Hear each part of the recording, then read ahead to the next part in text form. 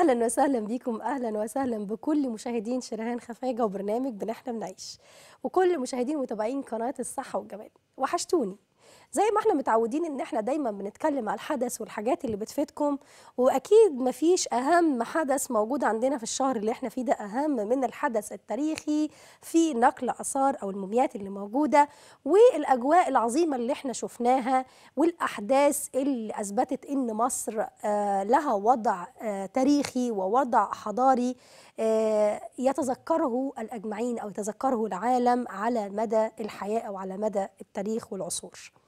عشان كده النهارده ما لقيتش أحسن من موضوع ال- الحلقة اللي إحنا نتكلم فيه النهارده آثار مصر. هل آثار مصر آه، بتتلخص في في الأهرامات فقط لا غير أو في المتحف فقط لا غير أو في الحاجات اللي بعض الناس عارفاها؟ لا طبعا. إحنا عندنا آه، آثار في مصر عديدة جدا وعندنا وديان كتير جدا جدا جدا موجودة في مصر. يا ريت آه، المخرج يجيب لنا ال- ال- الصور اللي موجودة المعابد اللي موجودة في مصر. يعني عندنا معابد مشهورة جدا زي ما إحنا متعودين. في معبد الأقصر. معبد الأقصر وهو يقع على الضفة آه، الشرقية لنهر النيل في مدينة طيبة القديمة وتأسست في عام 1400 قبل الميلاد. في هنا معبد كوم أمبو يقع على آه، الكثبان الرملية المرتفعة المطلة على نهر النيل بمدينة كوم أمبو محافظة أسوان جنوب مصر. آه، في معبد حتشبسوت.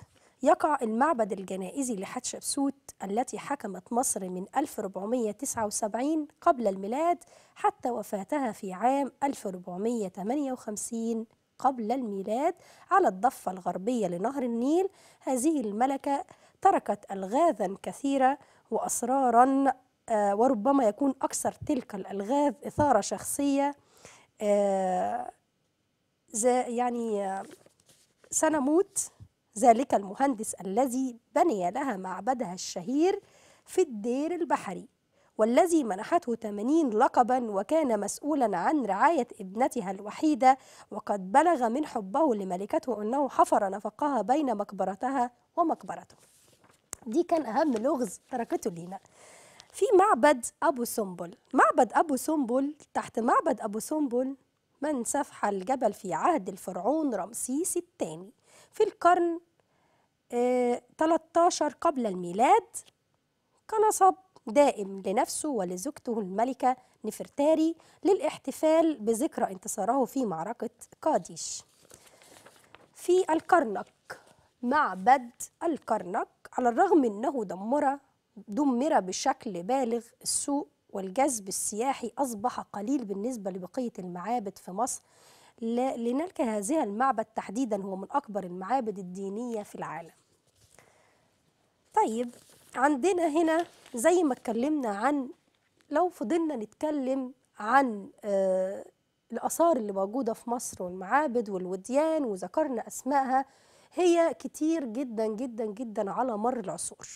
عشان كده النهاردة أنا حبيت إن أنا أتكلم في موضوع السياحة بشكل عام من معابد من وديان من شلالات من آه، إحنا عندنا آه، طبيعة طبيعة جغرافية موجودة وطبيعة آه، تقريبا مش موجودة في معظم الدول العربية خاصة. آه، إحنا دايما عندنا المناخ يعني لا هو شتاء قارس ولا هو حر بمعنى الدرجة لدرجة إن إحنا مش عارفين نعيش بره أو نعيش من غير تكييفات. فدايما الأجواء عندنا حلوة. طبيعة المناخية نفسها طبيعة سياحة بغض النظر كمان عن إن إحنا عندنا النيل وجماله آه، البحر آه، الطبيعة الصحراوية برضو والصحراء وجمالها كل حاجة. يعني إحنا ما بنتكونش إن إحنا نقول آثار مصر في إن هي يا المتحف يا يا أبو الهول و... و... والأهرامات. دايما كل الناس بتتكلم إن هي دي السياحة وفي مصر وخلاص. لأ عايزين ندي حق الوديان اللي موجودة ما خدتش حقها. زي الشلالات برضو الشلالات اللي موجودة آه، في الفيوم ومدينة الفيوم مدينة طبيعية آه، بشكل غير آه، يعني بشكل حضاري مسبوق. لازم تاخد حقها أكتر في وضع سياحي وككيان سياحي موجود. بعض الأماكن مظلومة مظلومة بحتة إن إحنا أنا عارفة إن الرئيس الله يكون في عونه هو على قد ما بيقدر إن هو آه، يصلح كل حاجة حواليه وي- ويدي رونقة لكل ما يستحقه. مين؟ ألو؟ أهلا وسهلا معنا اتصال محمود. أهلا وسهلا. أنا بشكر حضرتك جدا إن أنت تطرقتي للآثار بتاعتنا والحضارة بتاعتنا الجميلة. والقيت الضوء على كده. وطبعا السيد الرئيس يشكر على المجهود الكبير اللي بيعمله لإن هو يرفع من بلدنا بكتير جدا والمظهر الحضاري اللي ظهرنا بيه في الاحتفالية الكبيرة دي اللي شهدها العالم كله يعني. فده مجهود كبير من الدولة و... و... وفعلا الإعلام له دور كبير في تسليط الضوء على على أبرز معالم بلدنا. فأنا بشكر حضرتك إن أنت بتتطرقي للموضوع وألف شكر لحضرتك يا فندم. لا طبعا على راسي لكن عايزة أسأل حضرتك سؤال بما إنك موجود من ضمن الشباب المصري اللي بيخاف على بلده عايزة أسأل حضرتك في بعض الناس قالت آه، إن إحنا في مرحلة من الفقر الشديد وإن الفلوس اللي اتصرفت على الحفلة دي فلوس كتير جدا وإزاي ومش إزاي والكلام ده. هل آه، ال- ال- المردود السياحة اللي هيجي لينا إن إحنا نثبت تاريخنا للعالم كله. هنستخسر فيه إن إحنا نعمل حفلة بالشكل الجميل اللي إحنا شفناه ده. هل دي وجهة نظر صحيحة بعض الناس يقولوها؟ لا هي طبعا وجهة نظر مش صحيحة لأن لازم ندي الدولة وندي ال- ال- القرارات السياسية اللي بتاخدها الدولة هي أكتر رؤية مننا كلنا. إحنا رؤيتنا قصيرة على الإيه؟ على ال social media والحاجات الناس اللي بتسيرنا من الخارج. لكن إحنا لو عندنا دولة قوية ودولة كبيرة ورئيس محترم فلازم إن إحنا ندي الناس دي الثقه ونقف وندعمها ونبقى في ظهرها. ونبقى يعني الحاجة الوحيدة اللي هي بتخلي الناس دي تشتغل إن هي وجود الشعب وراها والناس وراها. بشكرك كتير وأتمنى كل الناس تكون متفهمة الوضع ده. أنا قابلت أسئلة كتير جدا من خلال صفحات البرنامج بنحلم نعيش ومن خلال صفحاتنا على ال social media. بعض الردود المستفزة جدا إن يقول لك إن الحفلة الفلوس اللي اتكلفت عليها لا إحنا من حقنا ده إحنا فقراء ده إحنا جعانين ده إحنا حاجات كتير. بعض الحاجات اللي ما ينفعش تتقال إحنا إحنا بنتكلم عن آه، تاريخ مصر وحضارة مصر. ففكرة إن أنت تقول حفلة اتكلفت يبقى أنت معلش sorry أنا آسفة بعض الناس اللي قالت كده أنت فكرك قصير جدا بتبص على المدى القصير مش المدى البعيد. قد إيه تعرف إن المردود بتاع حفلة زي دي على مستوى العالم كله يظهر تاريخ بلدك؟ مردود السياحة لبلدك هيكون عامل إزاي؟ المردود المادي اللي هيجي لك من عن طريق السياحة؟ المردود المعنوي اللي هيجي لك عن طريق نظرة العالم كله؟ لشكل مصر الحضاري المتقدم والحفلة اللي تمت بينت قد إيه آه إن إحنا كنا آه في عالم نستحق الشرف بيه. نستحق إن إحنا يكون عندنا حتة آه الشرف حتة ال- المحبة حتة آه إن إحنا ناخد بالنا آه من تاريخ تاريخ أجدادنا أو تاريخ جدودنا زي ما بيقولوا. آه لو سمحتوا يا جماعة معلش أنا آه أنا مش قاطع على الهوا آه لكن آه أنا عايزة أطلع فاصل. وعايزة أرجع لكم تاني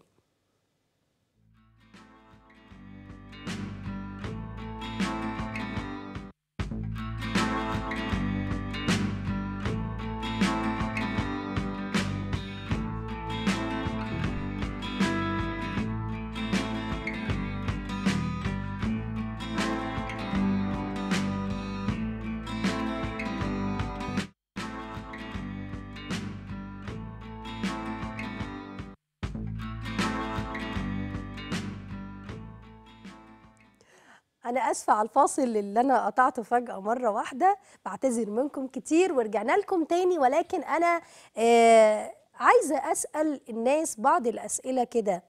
يعني في مثل آه يعني أنا مش عايزة أقوله بالتوضيح لكن هو مثل بلدي شوية. آه إن إحنا بمعنى المثل بنتباهى آه، بالحاجات اللي عمل اللي موجودة عند إخواتنا عند أهالينا. والله شايف ابن عمي معاه عربية كذا. أنا أبويا معاه عربية كذا أنا عملنا كذا. يعني دايما بنتباهى بحاجات إحنا ما عملناهاش. ده اللي أنا عايزة أوصل لكم المعلومة. الناس دي الفراعنة أجدادنا الناس دي عملت الحضارة اللي هتعيش على مدى نهاية العمر كله بإمكانيات بسيطة جدا جدا جدا.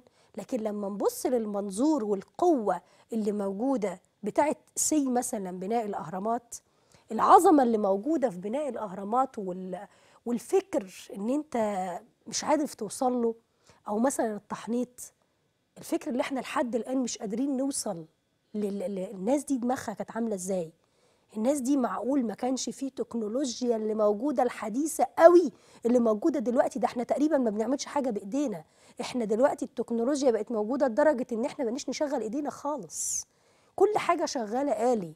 كل حاجة مكن كل حاجة فكر حسابات ما فيش دماغ كل حاجة ما فيش ما فيش لا عقل ولا إيد بتتحكم فيها. كل حاجة دلوقتي آلة اللي بتتحكم فيها. فهل بعد عصر التكنولوجيا اللي إحنا وصلنا له ده كله وما زلنا بنقول أصل ومفيش إمكانيات وأصل إحنا مش متساعدين وأصل إحنا مش قادرين نعمل وأصل إحنا بلدنا مش مساعدانا وأصل إحنا مش عارف إيه؟ مش عيب علينا. عيب علينا الحتة دي. عيب علينا إن إحنا نقول إن إحنا مش قادرين نعمل. وفي ناس آه، يعني في مثل بيقول لك كده برضو فلاحي بسيط عشان أنا بحب أنزل لأهالينا البساط في الفلاحين والصعيد بيقول لك ال- الشطرة تغزل برجل حمار عارفة إيه؟ المثل ده كان مشهور جدا عند ال- الفلاحين والصعايدة. فأنت متخيل آه، إن الناس دي عملت كل الإنجازات والحضارة العريقة اللي إحنا شايفينها وبنتباهى بيها قدام العالم ده كله عملتها بأقل الإمكانيات وأبسط الإمكانيات اللي ممكن تتخيلها. وإحنا دلوقتي قاعدين كل وقتنا بيضيع على ال social media وكل وقتنا بيضيع في الكلام وفي الحديث وفي الرطرطة وفي بعض الناس مهمتها في الحياة إنها تتكلم بس مهمتها في الحياة إنها آه، آه، تنتقد بس مهمتها في الحياة إن هي تقول إحنا مش عايشين إحنا كذا وكذا وكذا أنتوا بتعملوا لنا إيه يا عم في الصحراء؟ أنتوا آه، مين اللي هينقذكم في العماير دي؟ مين اللي هيستخدم الطرق دي؟ مين اللي هيستخدم المدن الجديدة دي؟ أنتوا بتعملوا مزارع اللي تزرعوها في الصحراء مش عارف إيه مصانع اللي بتفتتحوها مش عارف إحنا مش لاقيين ناكل إحنا مش عارف إيه. في ناس مهمتها إن هي تحبطك. في ناس مهمتها الإحباط. في ناس مهمتها إن هي ما عندهاش أمل بالمرة في الحياة. ما عندهاش طاقة ولا ولا مسؤولية ولا اتجاه ناحية إن إن إن في بكرة في مستقبل في ولاد في عالم موجود في بشر. في كل يوم عن يوم إحنا بنتقدم. يعني أنا أنا بقيت مبسوطة جدا وأنا ببقى بتمشى مجرد إن أنا بتمشى بالعربية في الشارع بشوف المنظر الحلو الجميل اللي موجود في الشوارع المصرية. آه، لو حد لو المخرج عنده صورة زي كده برضو يا ريت لو منظر المناظر الحلوة في الشارع دلوقتي موجودة. أظن أنتوا كلكم عارفين مش لازم حتى أنزل صورة. الصورة على مستوى مصر كلها على مستوى الرؤية اللي عينينا كلها في كل المحافظات.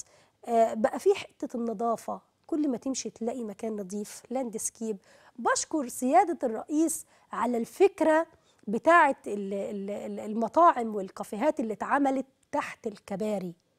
بشكره جدا جدا جدا جدا وده عندي آه، أحسن يعني يمكن أكتر منظر سياحة اتعمل في 2021 المنظر اللي أنا شايفاه ده منظر إن أنا ما بقتش هشوف متسولين تحت كباري تاني.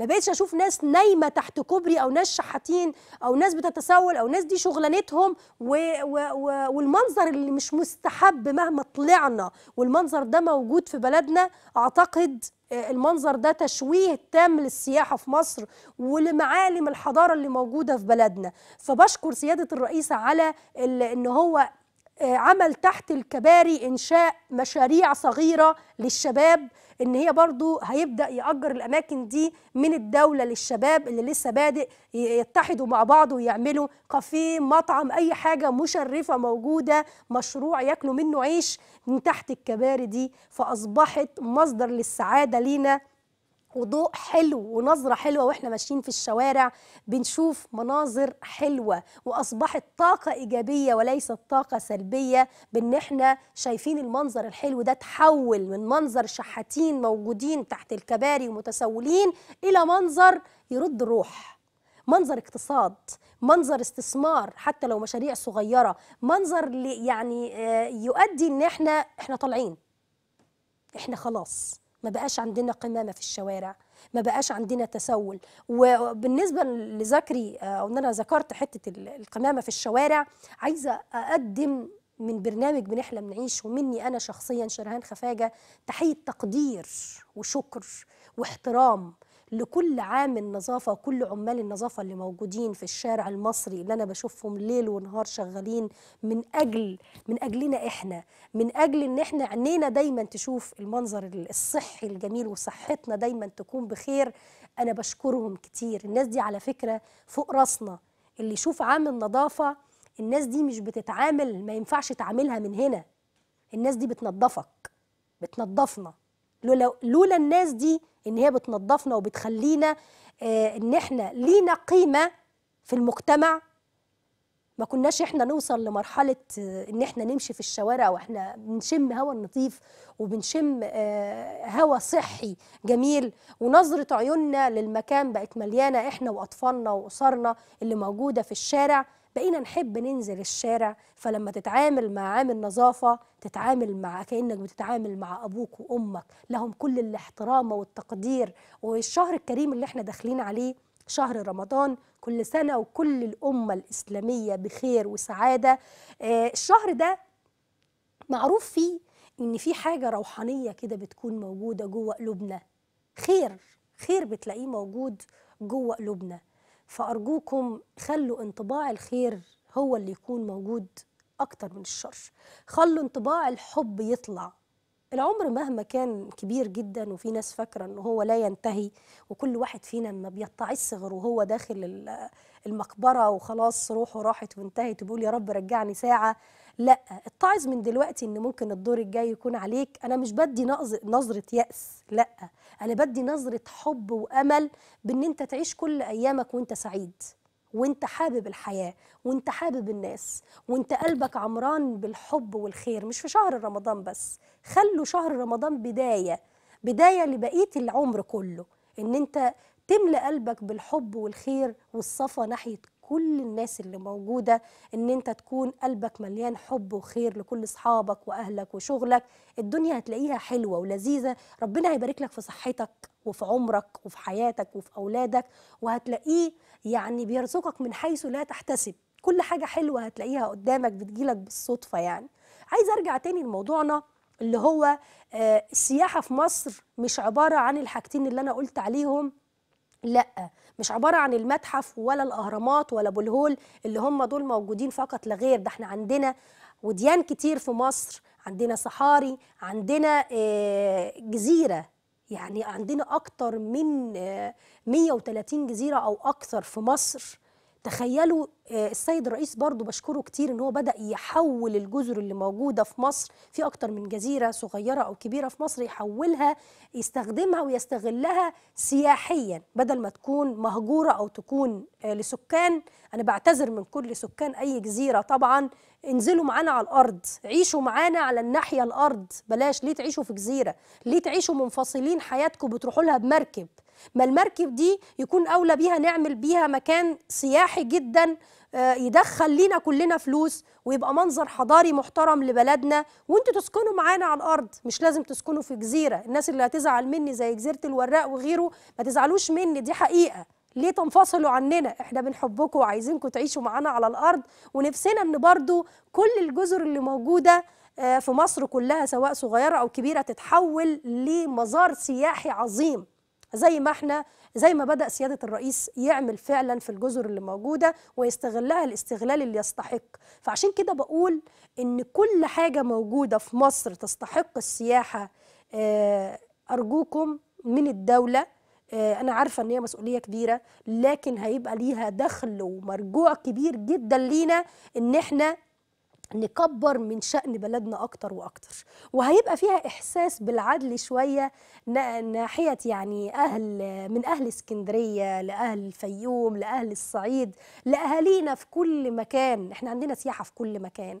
فأهل القاهرة وأهل الجيزة وكل مكان لما هيلاقوا إن في عدل وفي مساواة في حتة التطور السياحي اللي موجود في الحتة بتاعتهم آه هيبقى فيه هنا حتة الحب حتة الحب اللي هتتزرع وتبقى موجودة في جميع المحافظات والناس الطيبة أهالينا هيحسوا بالمساواة وهيحسوا إن إحنا فعلا آه، في بلد عظيمة جدا لأن إحنا في بلد عظيمة جدا وعندنا رئيس عظيم جدا عايز يطلع بينا آه، يمكن يمكن نكون أحسن دول في العالم. وبالفعل إحنا بنرتقي بنرتقي اقتصاديا وبنرتقي حضاريا وبنرتقي كل شيء.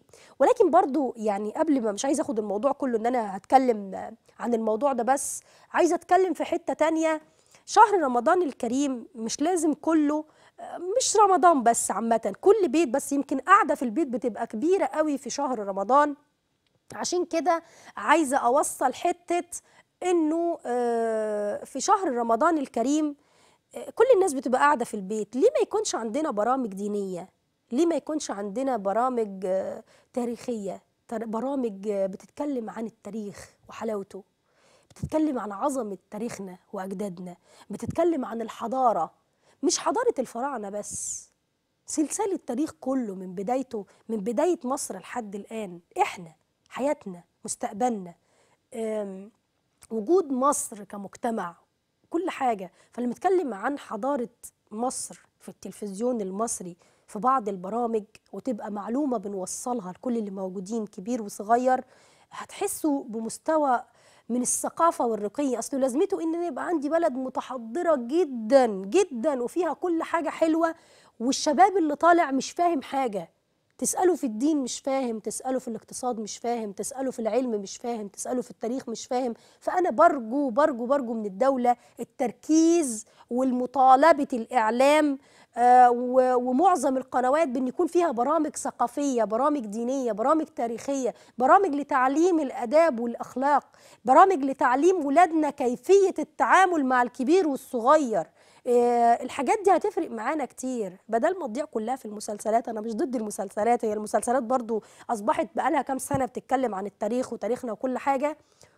ولكن برضو حتة الثقافة الدينية والثقافة التاريخية والأخلاقية والاجتماعية والاقتصادية ده شيء مهم جدا. واجبنا إحنا بقى واجب الإعلاميين. أنا واحدة من خلال برنامجي بنحلم نعيش على قد ما بقدر. أتكلم في حتة الدين والثقافة والأخلاق والرحمة والإنسانية بتكلم. بحاول في كل موضوع حلقة أدخل حتة آه، تفهم الناس معلومة للناس معلومة للكبير وللصغير معلومة إن البلد دي بخير وإن إحنا أهالينا وجدودنا والشارع بتاعنا شارع حلو شارعنا حلو شارعنا ليه ما يرجعش زي زمان؟ جارتك هي أختك وهي أمك. ليه ما نتعاملش بهذا المبدأ؟ ليه ما نتعاملش باحترام الكبير للصغير؟ يا ريت الأجواء الحلوة اللي بنشوفها في رمضان وروح التسامح اللي بشوفها في الشارع وروح المحبة أشوفها على مدار السنة أشوفها على مدار العمر كله. نفسي عيني تشوف الحاجة الحلوة دي على مدار العمر كله. خلوا بالكم من بلدكم بلدنا حلوة بلدنا تستاهل إن إحنا نحبها بلدنا تستاهل إن إحنا نحافظ علينا. أنا مبسوطة جدا من الحفلة اللي تمت لنقل الآثار. ونقل الفراعنة اللي هم أجدادنا اللي نتشرف بيهم وما نبصش بمنطق حتة إن البلد آه، اللي الحفلة اتكلفت كتير قد ما نبص نقول هي هتجيب كام. العد- العائد اللي هت... المردود اللي هيجي منها؟ مردود مادي مردود معنوي مردود تاريخي مردود ثقافي مردود فيه تقدير واحترام من جميع الدول في العالم هنا. لمصر أم الدنيا. شكرا سيادة الرئيس شكرا الشعب العظيم شكرا الجيش المصري شكرا الداخلية شكرا لكل الجهات المسؤولة آه، شكرا لعمال النظافة شكرا لكل الناس اللي موجودة اللي ساهمت في المنظر الحضاري اللي بقيت أشوفه الأيام دي. شكرا لكل جهاز وكل جهة بتقوم بواجبها بجد. شكرا لكل شخص في البلد دي بيشتغل بحب. شكرا ليكم. شوفوني إن شاء الله الحلقة الجاية يوم الأربعاء الساعة 8 في رمضان كل سنة وأنتم طيبين. وعود عليكم الأيام بخير.